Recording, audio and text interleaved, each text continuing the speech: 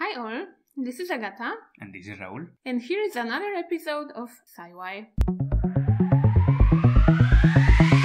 So, on today's episode, we are going to talk about a study that put to the test the common idiom that something is not rocket science or that something is not brain surgery when you are talking about, you know, a topic that is not as difficult as it looks like, Mm-hmm. you know? Like, and they use that so often in movies also. like, they are explaining something, the IT guy, the IT character is explaining something, and then they are like, yeah, because this and this, come on, it's not brain surgery, or like, it's not rocket science, meaning that it's simpler than it looks. Ooh, ooh, if I can. It reminds me of um, uh, the old British series called Misfits, where one of the characters gets a superpower of being a rocket scientist. yeah. and it's really great because she seems like this, you know, a girl from the hood, and uh, people think that she's super stupid, but actually she is. She has a brain of a rocket scientist, so she calculates everything super quickly, Mhm. and yeah, so they very much play with this uh, thing of like something is not rocket science, but for her. The, the the science is super easy. Yeah, and they take her to Mm. the Ministry of Defense because she has designed some some Missile. yeah, some missile or something, and they are like, okay, where did you steal this from? And she's like, fuck off, I designed it. that was my British accent. Uh, thank you. And let's never do that again. so this idiom works because we think that rocket science and neurosurgery are very difficult fields. Which seems reasonable, to be honest. Probably they are because it's probably more probably. difficult than my job. So Mm. So anyway, this study put to the test how difficult those fields actually are by measuring the intelligence of the people that work in those fields. Mhm. Okay? So they thought that if those fields are really, really complicated, only very intelligent people will work there, yeah. right? And will focus their careers on that. hmm So, they made a study, and it was published in the British Medical Journal, where they checked if aerospatial engineers and neurosurgeons are actually more intelligent than average people. hmm Okay? They had volunteers from United Kingdom, from Europe, which saying that volunteers from Europe is like, what are you, Italian or Russian? So, well, I don't know. From USA and Canada, and those were all asked to complete the Great British Intelligence Test, which is a standardized test to check your IQ. I think they were like doing that on TV that you could like answer questions and there was this I- big IQ test and then you could like check your results and something. I always wanted to do that to see how smart I am.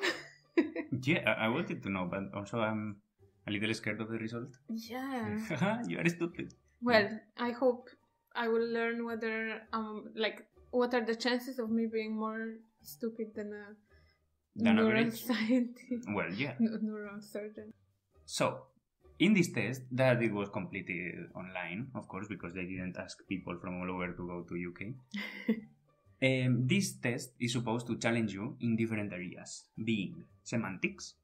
Semantics is uh, The words. words and relations between words, grammar and vocabulary and all that. Mental manipulation. Which is Uh, yeah, mental manipulation is how good you are in making people do what you want. no, that's being a psychopath. Mental manipulation is how good are you at imagining things, for example, rotating objects in your head mm-hmm. or um, imagining geometry in your Okay, head. okay. Attention and emotions, uh, problem solving, memory speed, and spatial ability. Mm-hmm. Okay. There were 329 aerospatial engineers and 79 neurosurgeons. So few neurosurgeons. yeah, I don't I don't know why so little neurosurgeons, but but okay. Maybe it's so difficult to be one that um, They are too busy for your bullshit. so their results were compared with the average results of 18,000 British volunteers that also took the test. Okay. Which British probably were very average. Well, I guess. 18,000 is a very good sample, so you can get a very good average from that. I wonder people from all different backgrounds. I don't know, like Polish people. Are Polish people smarter than British people? I mm, will not say yes. cannot or confirm no. nor deny. Yeah. So the results were actually a, a, little, a little shocking, I would say. It's not what I expected. Turns out that neurosurgeons scored higher than engineers in semantics. Mm-hmm. The Well, researchers, not that shocking. well, the researchers say that probably it's because the profession of neurosurgeon requires to understand very long and very complicated words and medical terms and medical vocabulary that it can sometimes be really complicated because you know some diseases can have like i don't know long names that come from greek or latin Mhm. so you have to be able to remember them understand what they mean and all that Read a lot of journals Mm, about so yeah with, with time for sure you see a word that is not like Obvious. familiar to you yeah Mhm. but it's similar to other word that something something so this relation between words maybe they are able to do it because their profession is based on that aerospatial engineers, they are just like, ooh, a new star, let's call it Boo Boo 5000. Ooh, that's not what aerospatial engineers do no? that's cosmologists or astronomers Aren't they all the same? no they are. Like, just like no they people aren't who work at NASA and just like yeah throw them in one bag. okay no No? No, okay. Aerospatial engineers, aka rocket scientists, what they do is that they design aircrafts Mm-hmm. and objects that have to be able to fly and Yeah, move so they from call- one point to another. Okay, so they don't name planets, they, they name robots, and then they're like Boo Boo 5000, the robot. Okay. Which still proves my point that their names are um, much less complicated than the names of diseases of like. I, I cannot even come up with any. Well, I don't know. Anyway, Chromatocloscopatia. Huh? I have no idea, I just made it up. Okay. Because maybe I should be a in neuroscience. if some neurosurgeon is, is here, maybe they can tell us. So, aerospatial engineers scored higher than neurosurgeons in mental manipulation and attention. Mm-hmm. meaning that they are more attentive to detail and they have this ability to imagine things in their head. Mm-hmm. The Where results are so because probably it's because they have to be able to imagine geometries and complicated surfaces in their head and then design them and then build them, you know. So, I mean, if you see a rocket, it has a lot of complicated geometries. Mhm. So, you know, And neurosurgeon just works on a brain that probably they our, our brains are all more or less the same. Yeah, probably. And they are already designed, so you don't have to design anything. Designed by God. No, no, not by God. By someone. Mother Nature. and yet, no differences were found between neurosurgeons and space engineers in memory, Mhm. problem solving, and memory recall speed, meaning that they are both as good in Mhm. those areas. Okay. Now, how do we compare to the average, Now, to the average British person? When compared to the general population, aerospatial engineers showed no differences in intelligence.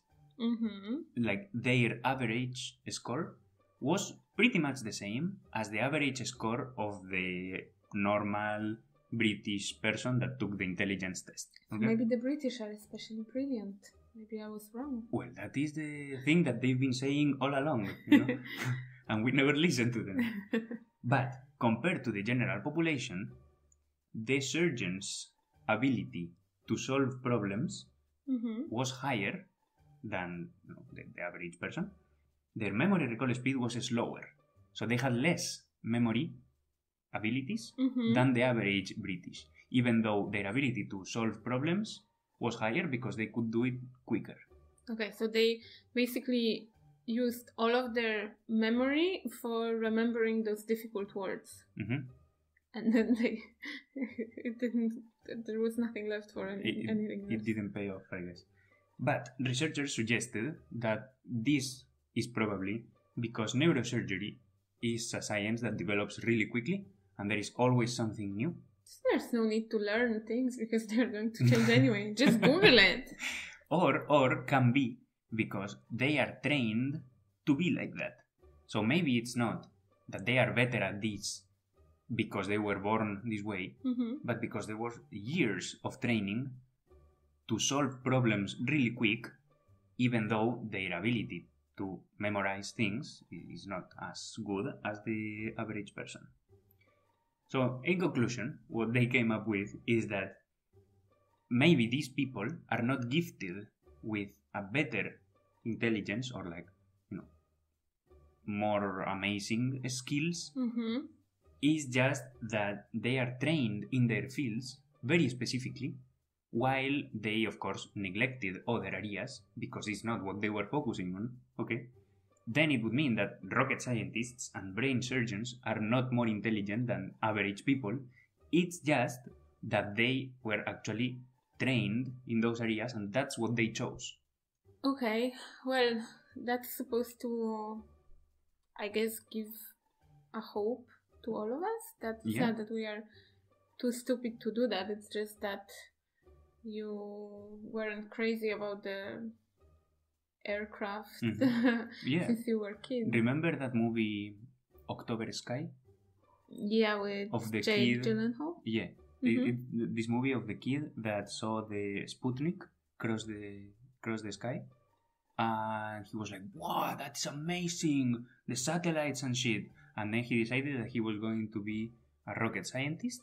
Even though he wasn't especially smart. He wasn't especially smart, and Mhm. he was not doing good or like especially good in school or anything like that.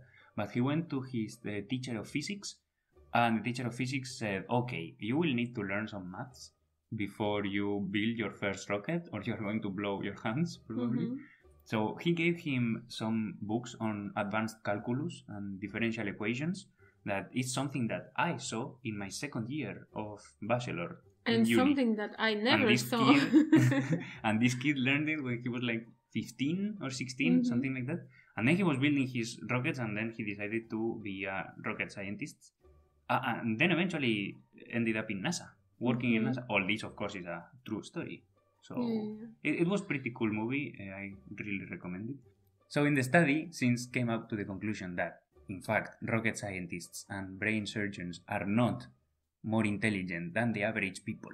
They propose that instead of using the sentence it's not brain surgery or it's not rocket scientist to explain that something is simple or easy to use other sentences like it's a piece of cake or it's a walk in the park that is how the study finishes Wow.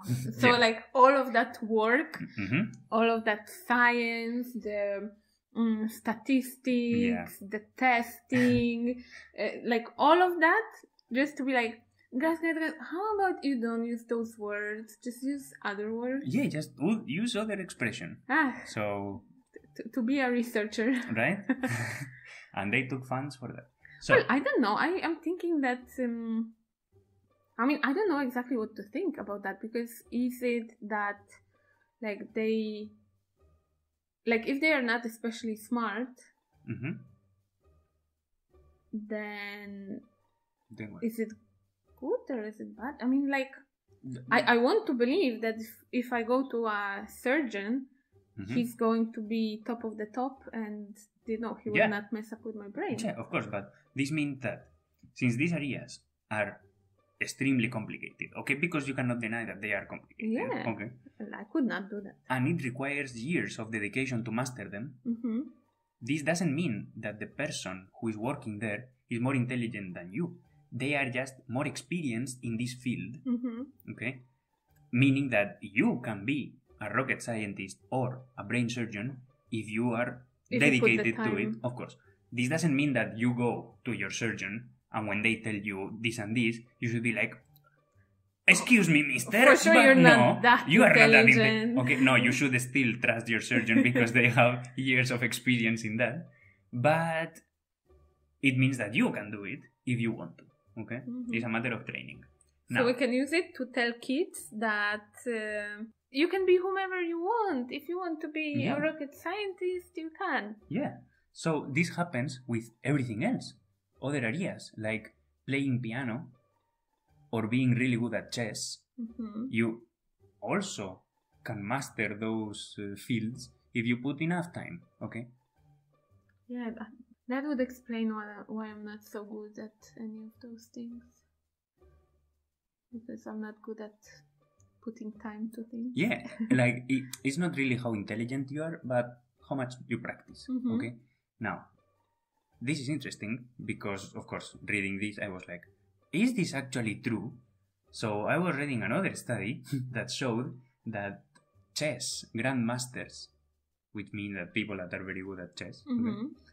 they are also not more intelligent than average, but they do score higher in the part of logical analysis and memory in this intelligence test than the average person. Mhm. Meaning that if you are really good at chess, you unconsciously are developing the areas of logical analysis and memory. Mhm. And it happens so often that chess grandmasters, they are like, yeah, this um, strategy is the same as, I don't know, the shepherd's gambit used in 1977 by the Russian Mikhail something, you know? Because they have huge memory for this thing, Mhm. but later you tell them, go buy milk, and they forget.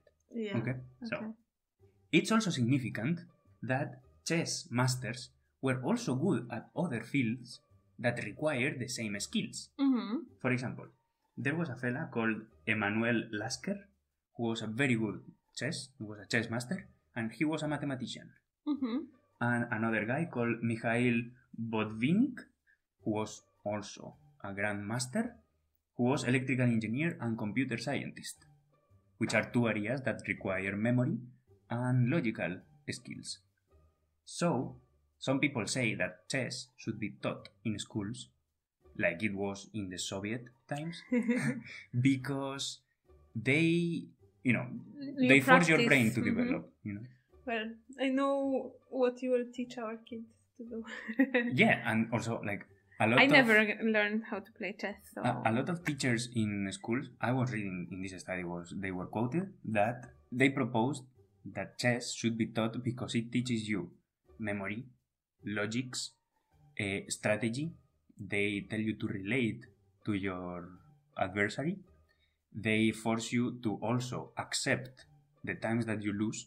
So it teaches you how to, you know, take in the defeat you have to think about your future moves and Mhm. like if you move this way, where it's going to lead you, and what can you do then? Yeah, so it, it is significant that even though chess players are not more intelligent than average people, they were also good at other fields that were not related with chess. Mhm. Okay? Of course, there were also plenty of chess players that were only chess players, and that's it. Okay. Yeah, and also So- probably it's similar with other kinds of games Or and with other kind of activities. With other fields, like for example, ballet. Ballet dancers need to have a lot of resistance and endurance and flexibility, which can also be useful for athletes. Mhm. So, you know, Or I'm very good with doing puzzle and finding the small differences and finding the missing piece, mhm. which you're not so good at, No, I'm not because, and also I don't have the patience to, to do that. which makes me better about uh, at my job where I need to be patient and look into details and uh, uh, try to put it together. Yeah, exactly.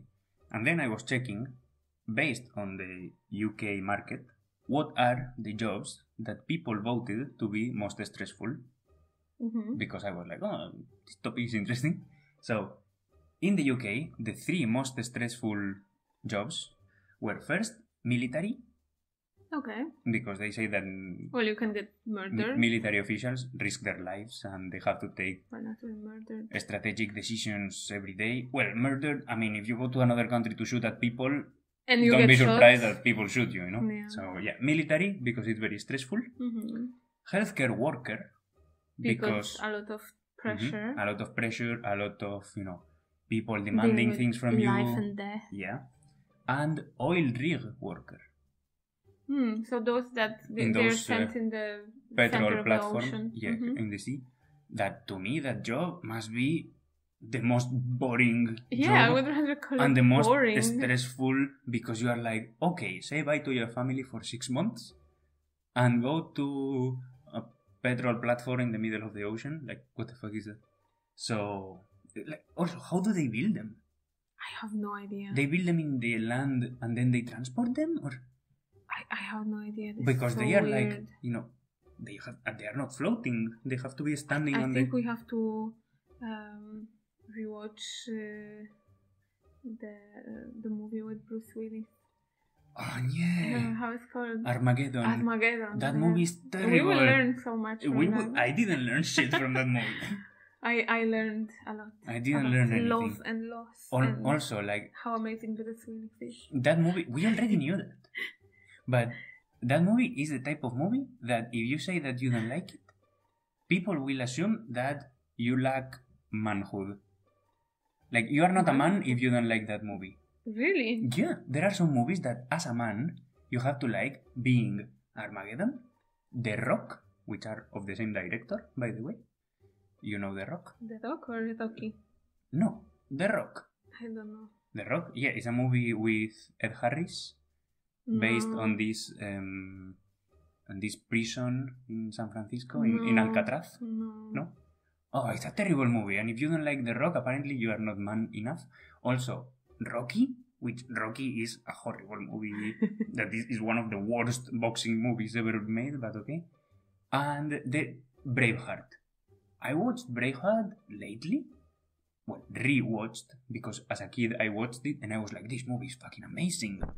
So I rewatched it and then I was like, this movie is the most boring that was ever made. And if you are not a man, if you don't like Braveheart, apparently.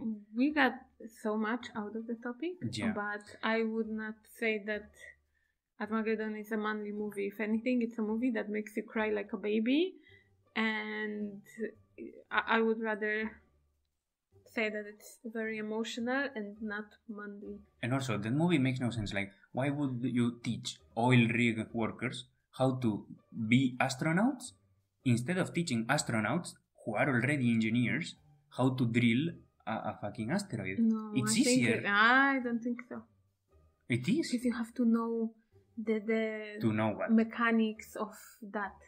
But The most engineers are mechanical engineers. They yeah, know but that. it's you know the surprise. It seems What simple, surprise? but actually anything can happen. Okay, let's move Why on. Why would you assume that an astronaut cannot do that? Well, anyway. Because apparently they're fucking stupid. Okay, as Ah, the study suggests. Okay, okay. Huh? No, me- ah. anyway, so, and the three less stressful jobs are landscaper, Oh, that's a nice one. landscaper and groundkeeper, which is, you know, like, like The being a gardener, gardener. Okay? mhm. And we all know that gardeners are hot. No? No, they're usually old and grey and a bit chubby, and wear ugly clothes, and they're dirty with stuff. Well, we haven't watched the same movies. Uh, that is the first less stressful job voted by people in the UK. Mhm. The second is web developer, which I don't really Because agree. no one knows what they are doing, Yeah, so they can take two weeks, even though they did it in one day. But every programmer that I've met, they were always pissed at something, being like, "Oh, this fucking shit! The code doesn't work. I something, think it's something." more of you know? like um, you know their the personality, not job description. And the third less stressful job is massage therapist. okay. Massage Yeah, relaxing, That you seems know, you like put a candle and yeah, pretty relaxing. You can kick the shit out of someone and you send them on their way. So yeah, okay. and uh, that's all that I brought today. And we got very wild.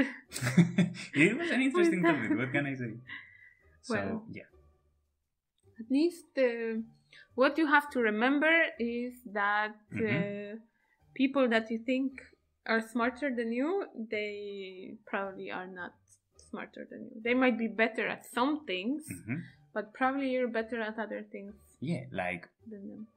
you know what they say that uh, you cannot judge a fish for their ability to climb a tree. Mm-hmm. So, Exactly. exactly.